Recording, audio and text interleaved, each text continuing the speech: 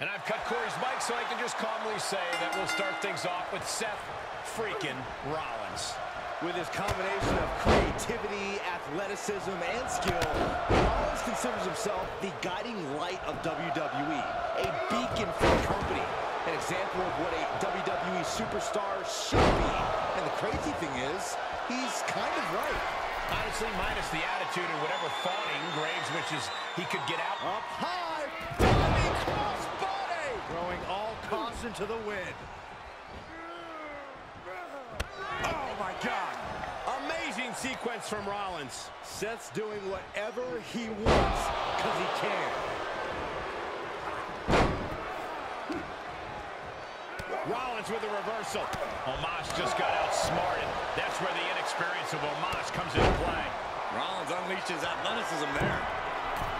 Seth Rollins might... If this lands, it's over.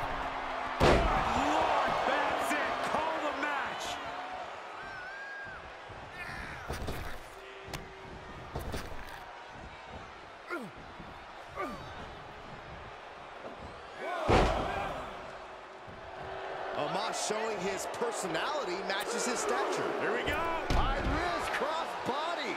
Just exhibiting their fearlessness. Exhibiting guts and accuracy as well. And back in the ring we go.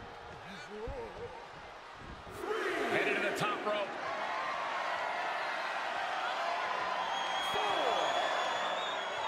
Up high. Taking a break before coming down like thunder.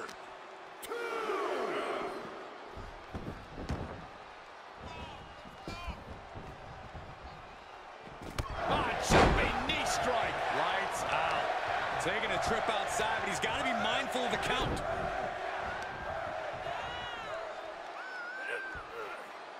So much torque on the knee and ankle. Everything working against Omos now. Yeah, Omos has to plot a way to get back into this.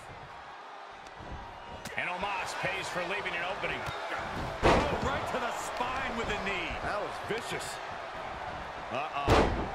Dropping the elbow right on the knee. Producing a trampling.